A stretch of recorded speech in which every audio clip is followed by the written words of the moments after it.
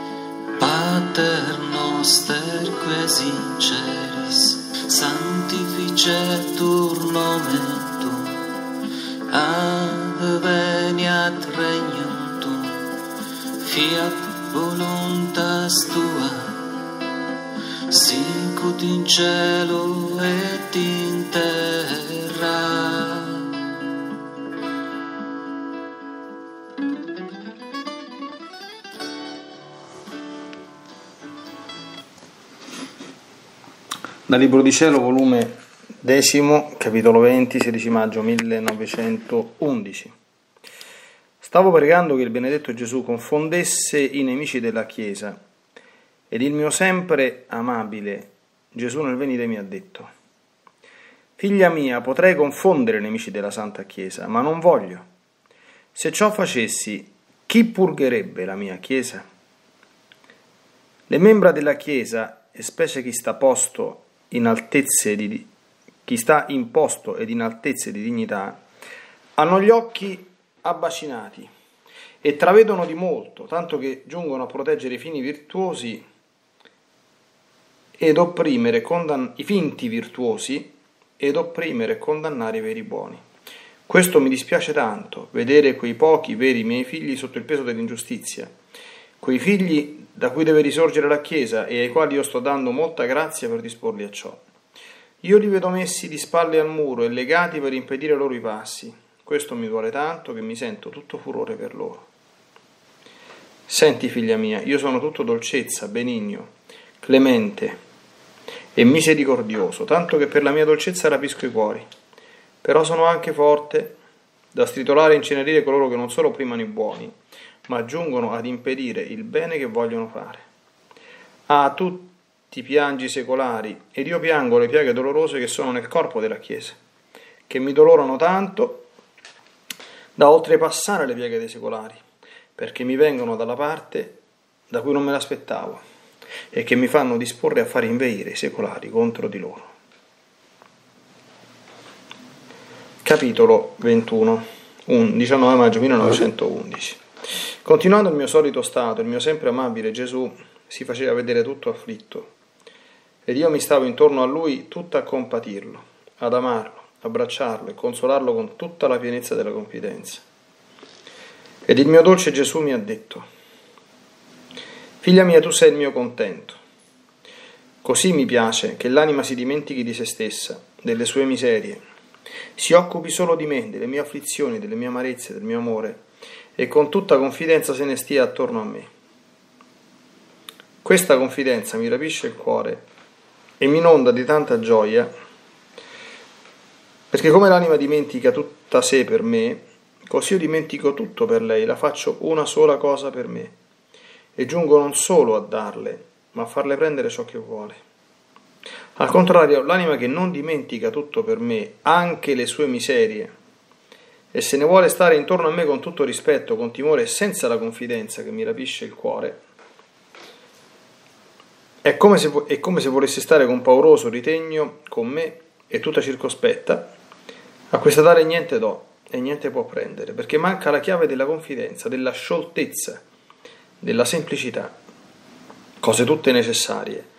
Io per dare e lei per prendere. Quindi con le miserie viene e con le miserie resta.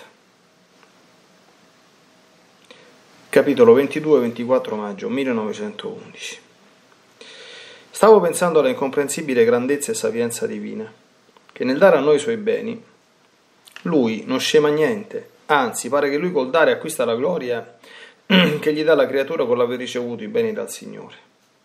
Ed il benedetto Gesù nel venire mi ha detto, figlia mia, anche tu possiedi questa dote, non nel corpo, ma nell'anima, che ti è stata comunicata dalla mia bontà. Difatti, col cercare di infondere nelle anime il bene, la virtù, l'amore, la pazienza, la dolcezza, tu non scemi punto, anzi, con l'infonderli negli altri, se vedi che quelli profittano, tu ne godi un compiacimento maggiore. Onde, tu, onde ciò che tu sei per grazia nell'anima, io sono per natura, e non solo dei beni di virtù, ma di tutti i beni possibili, naturali, spirituali e di qualsiasi genere.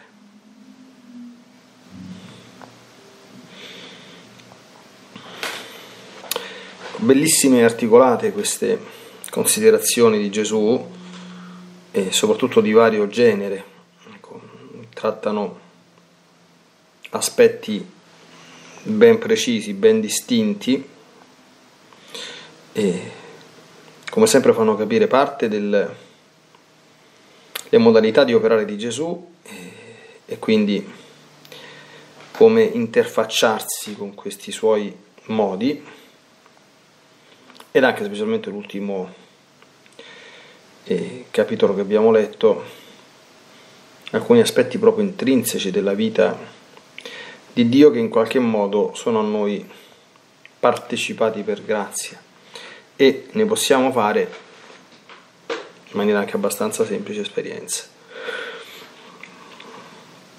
Sempre andando con ordine, Luisa pregava, come ogni buon cristiano e anche noi dobbiamo pregare, che il Signore confondesse i nemici della Chiesa. E la risposta che dà Gesù è piena di sapienza, perché alza un velo su alcune cose che a noi ci appaiono sempre, perché siamo intrisi ecco, di vedute umane e di volontà umana, a volte un po' strani. Noi vedendo tante cose che non funzionano nella Chiesa pensiamo subito, ma se intervenisse il Signore e se ripulisse un po' subito la sua aia e tutti splendessimo felici e contenti, sarebbe molto meglio per tutti, per la Chiesa e per il mondo.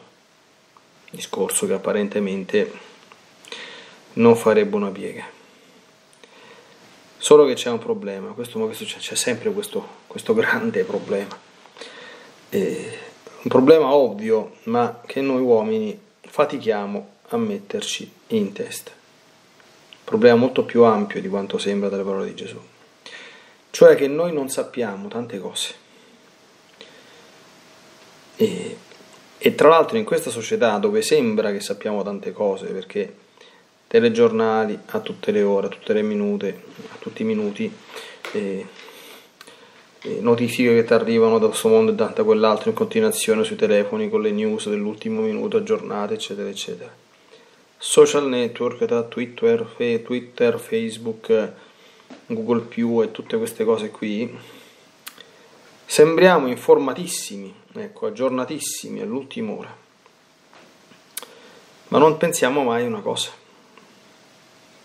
Parte che noi non conosciamo quasi nulla, nonostante tutta questa abbondanza in confronto a ciò che è ma che le notizie ci arrivano tutte quante parziali, falsate, tutte quante intrise delle opinioni soggettive personali di chi le trasmette.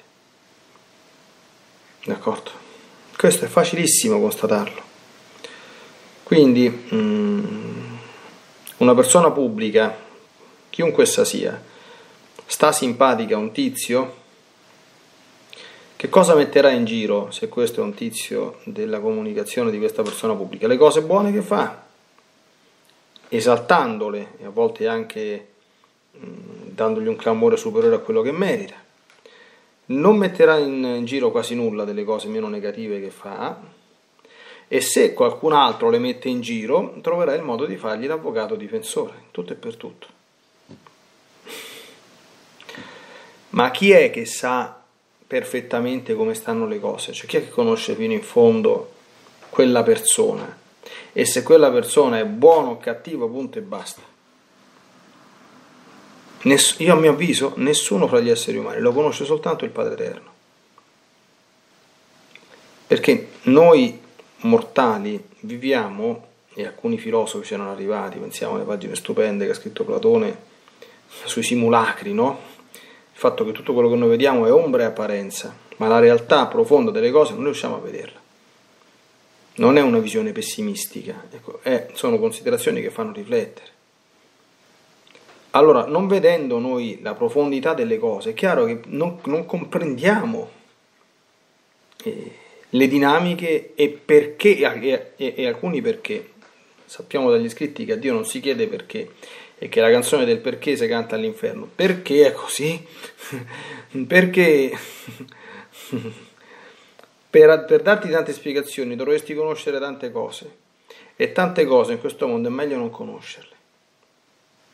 Questa è la risposta. Allora, si vede la Chiesa afflitta dai suoi nemici, dai suoi persecutori, sofferente? Si ricordino queste parole di Gesù. Io devo purgarla la mia Chiesa. Queste considerazioni che fa Gesù, attenzione, non autorizzano nessuno a accodarsi ai cori oggi provenienti da più parti, dentro e fuori, da destra e da sinistra, chi, chi, chi critica in un modo, chi critica in un altro, chi critica l'uomo di chiesa Y perché è troppo progressista, chi critica l'altro uomo di chiesa Z perché è troppo dall'altra parte, andando a fomentare litigi, discordie, chiacchiere, polemiche, divisioni, eccetera, eccetera. Noi dobbiamo semplicemente pensare che il nostro Signore sa quello che fa. Noi dobbiamo pregare, certamente non possiamo avere gli occhi chiusi, d'accordo? Quando appaiono certe cose oggettive, ne prendiamo atto, ci soffriamo e ci preghiamo. Se ci si può fare evangelicamente qualcosa, senza che per fare qualcosa contribuisca a fare altro male alla Chiesa, a diffondere altro male, benissimo. Tipo parlare col diretto interessato di certe cose, tipo segnalare dei problemi realmente gravi, oggettivi, alle autorità competenti a risolverli anche dentro la Chiesa. Queste sono cose che si possono sempre fare.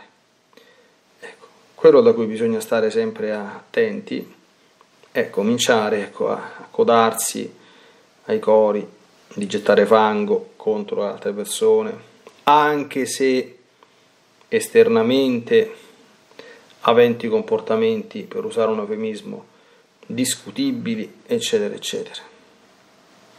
Ricordando sempre eh, il monito di San Paolo circa la carità, ecco che la carità tutto sopporta, la carità tutto copre nel senso, attenzione, non di coprire il male del prossimo, perché non, perché non sia conosciuto e punito nelle sedi opportune, si badi e si ripeta, ma non serve sbandierarlo ai 420, o quantomeno non serve metterci il nostro carico ulteriore allo sbandieramento ai 420, che quando la divina volontà o in certi casi la divina giustizia lo ritiene opportuno, non ha nessuna difficoltà a fare in modo che ciò accada. Lo dice Gesù. Io sono tutta dolcezza, benigno, clemente e misericordioso, tanto che per la mia dolcezza rapisco i cuori, ma però sono anche forte da stritolare e incenerire coloro che non solo primono i buoni, ma giungono ad impedire il bene che vogliono fare. Questo ci dà anche grandissima consolazione, perché Gesù tiene in mano le redini della carrozza e dei cavalli che la conducono. Quindi lui sa quello che fa. E certamente, come poi specifica nel paragrafetto successivo, una cosa importante che pochi fanno è pensare, questo l'abbiamo visto anche nella meditazione precedente, a come consolare, a come eh, riparare il cuore di Gesù tanto offeso da queste cose. Dice, mi dolorano tanto le piaghe dolorose che sono nel corpo della Chiesa da oltrepassare le piaghe dei secolari, perché mi vengono dalla parte da cui non me l'aspettavo e che mi fanno disporre a fare invece i secolari contro di loro. Si vede benissimo, per esempio, nelle ore della, della passione, durante l'episodio del rinnegamento di Pietro, il dolore di Gesù e come l'offerta di quel dolore ripaga i peccati commessi da tutti, d'accordo? Anche eh, dai capi della Chiesa, che non sono tutti sempre e comunque necessariamente perfetti e che possono mancare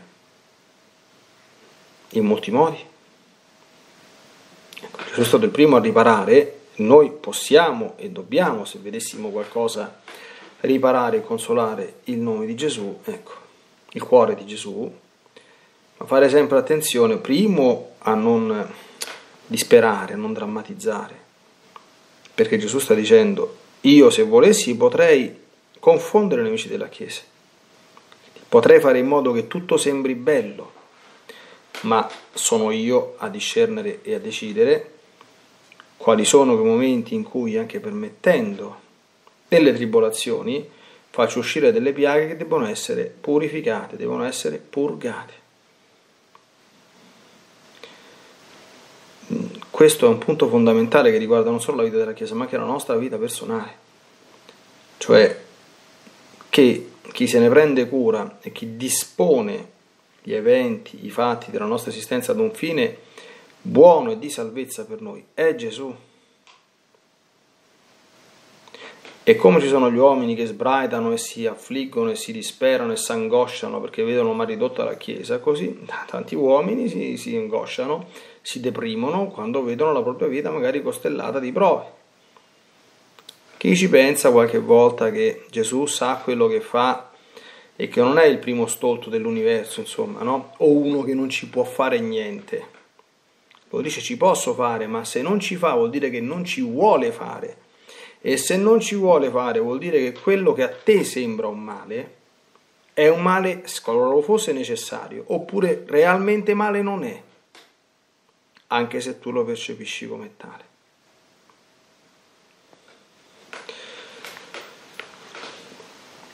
Ecco, poi Gesù parla di una cosa molto importante. Noi generalmente consideriamo quasi come alternativi due comportamenti che sono in realtà complementari, compresenti nel nostro rapporto con Gesù. Ossia, Gesù è Dio e come tale va adorato, va pregato, va trattato con riverenza, va rispettato. Ecco, ma Gesù è anche colui che ci ama infinitamente, colui che ci è immensamente vicino, colui che ci ricolma di beni, colui che ci tratta come perla preziosa, come prodigio, come cosa unica, colui che è tutto amore. Per cui insieme alla riverenza, lo dice lo stesso Gesù, è necessaria anche la chiave della confidenza ed anche una certa scioltezza nel trattare con Lui. Santa scioltezza, d'accordo? Qui, come sempre, dentro la nostra anima e dentro i nostri modi di relazionarci con Gesù, e ascoltando bene il nostro cuore e i dettami della nostra coscienza, dobbiamo imparare appunto l'equilibrio. Ma Gesù ama un'anima confidenza, è un'anima sciolta. Perché se uno sta, lui dice, con pauroso ritegno e tutto circospetto, timore senza confidenza e solo rispetto, a questo tale io non do niente e niente può prendere. Quindi con le miserie viene e con le miserie resta. Come sempre per noi esseri umani è facilissimo, ecco perché la virtù è difficile ed ecco perché sempre Gesù spesso ribadisce dentro questi scritti l'ordine, l'armonia, l'equilibrio. Perché è facilissimo deviare da una parte all'altra, o come in questo caso, qui c'è anche il contesto storico, no? 1911 ancora insomma c'era un forte senso di Dio, ancora se si leggono anche i testi e si, si entra in que, quella cultura, cioè di Dio c'era un grande timore, troppo a volte, c'era una iperconsiderazione della sua pur vera giustizia e santità e maestà. Oggi è facile che ci sia un eccesso contrario, attenzione, ma un eccesso contrario inteso in senso negativo, perché la sana e santa confidenza e scioltezza sono cose che quando sono autentiche la portano dentro con sé l'adorazione comunque dovuta al Signore. L'esempio perfetto di questo è Maria Santissima. Cioè, chi è che può pensare che Maria Santissima non fosse la perfetta adoratrice del, del suo Dio e Figlio? Eppure, cioè, sia per ufficio materno, insomma, sia anche per la sua missione di ancella e sposa di Dio, insomma, possiamo immaginare la confidenza e l'intimità che aveva con Gesù, no? Quindi deve essere lei la nostra guida. E un'altra cosa che Gesù raccomanda, oltre al fatto che appunto la confidenza lo, lo rapisce, perché la confidenza è un, un atto di fede e di attestazione della bontà di Gesù che è la sua dimensione primaria e, come dire, secondo il nostro modo di parlare, più autentica. Gesù vorrebbe essere sempre solo così e quando non è così, quindi che deve essere anche altro, lo fa non volentieri, anche se in forza della giustizia divina lo deve fare.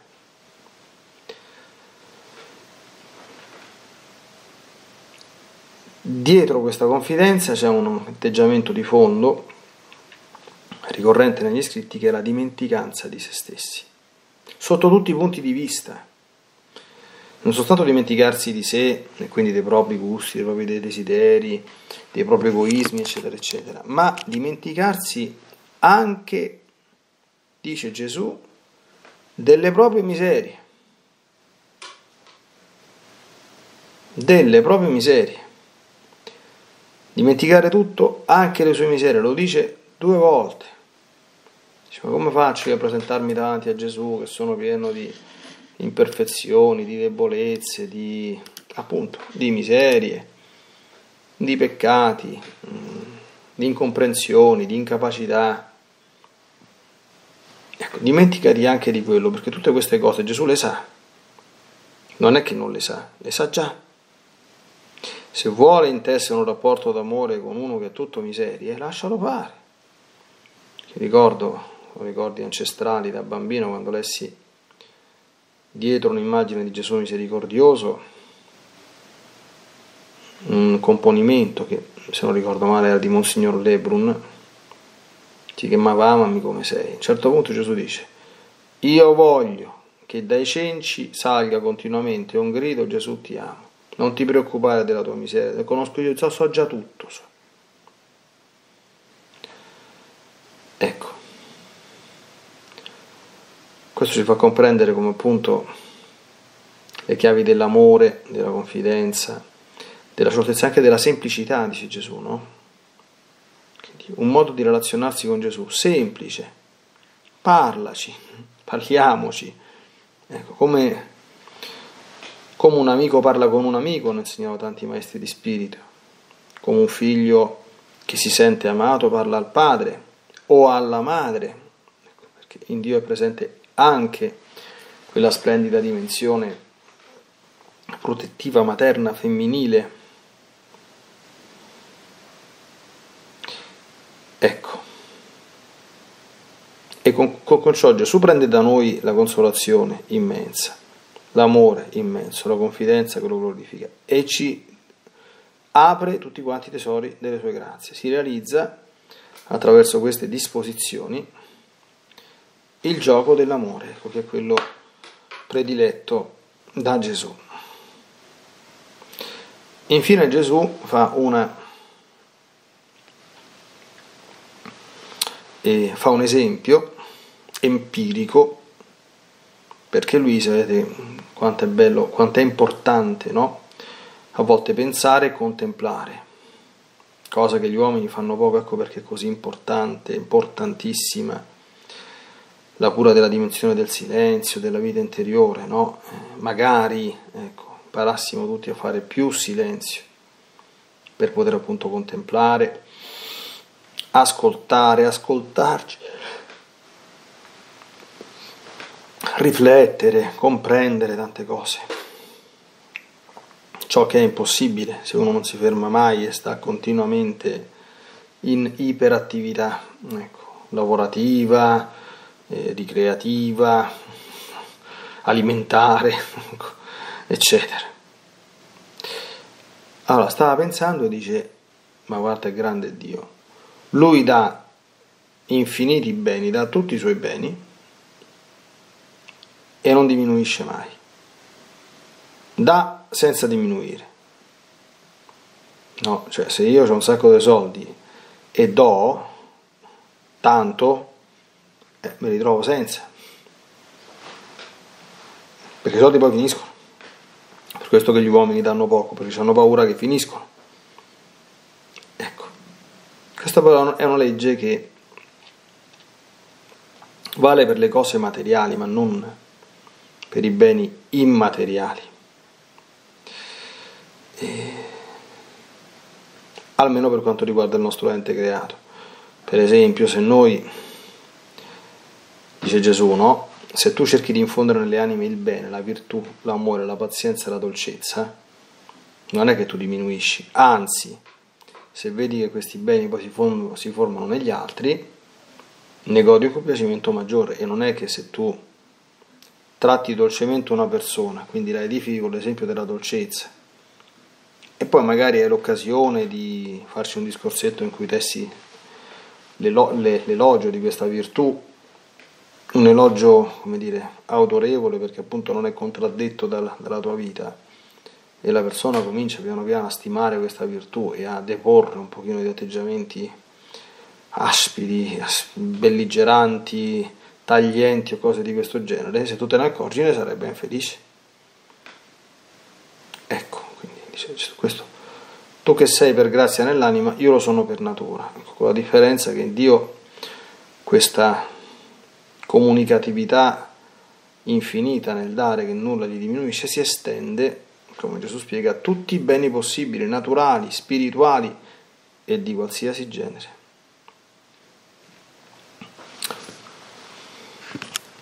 E...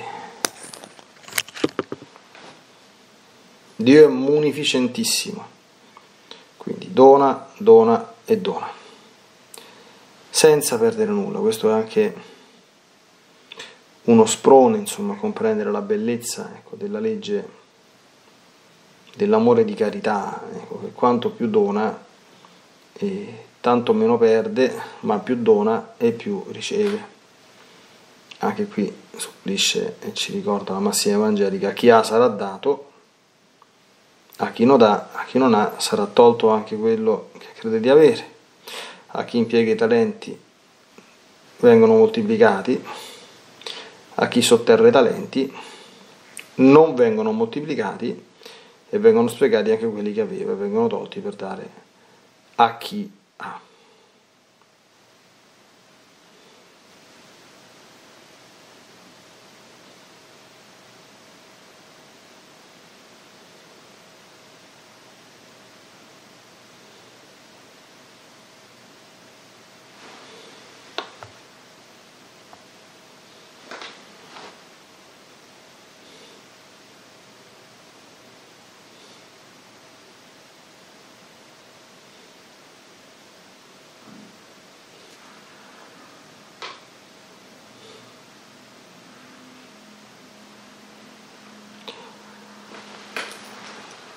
Oh Santa Vergine Maria, concedici la grazia, ottienici la grazia ecco, di situare nei santi ambiti della confidenza, della semplicità, della scioltezza, che è il nostro rapporto con Gesù, di un abbandono fiducioso e pieno, ecco, consapevole della sua onnipotenza e del controllo che ha sulla nostra storia, sulla storia della Chiesa, sulla storia dell'umanità, e sempre più fermi, decisi e convinti nel dare, nel dare nel darsi e nel darci,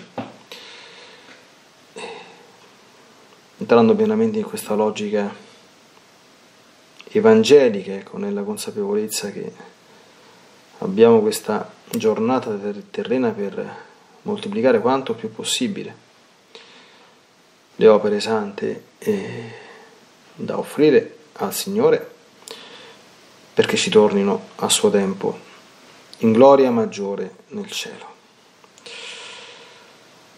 Nella divina volontà, nel nome del Padre, del Figlio e dello Spirito Santo. Amen. Ti benedico per aiutarti, ti benedico per difenderti, ti benedico per perdonarti, ti benedico per liberarti da ogni male benedico per consolarti, ti benedico per farti santo, ti benedico dunque nella divina volontà, nel nome del Padre, del Figlio e dello Spirito Santo. Amen. Fiat Ave Maria.